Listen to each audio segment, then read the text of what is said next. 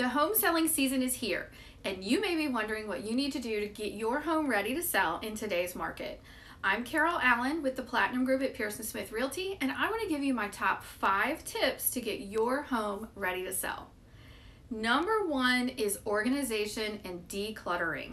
If you have kitchen appliances or personal items that you don't use on a daily basis, pack them up and store them away. You can put them in the basement, in the garage, or even rent a storage unit. And trust me, this is going to help you with the packing and moving process later on.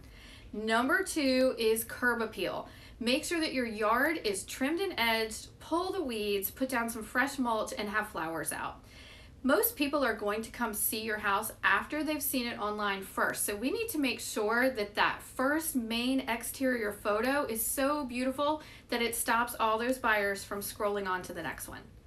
Number three are cosmetic improvements. And here is where a fresh coat of paint goes a long way. So does changing out those outdated light fixtures.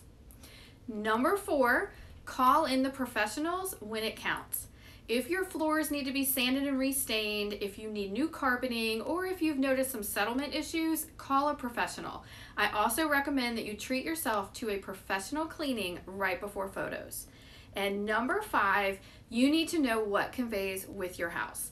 If you have light fixtures that were wedding gifts, window treatments that match your bedding, or wall mounted electronics, let's talk about it before you go on the market so that your expectations are met.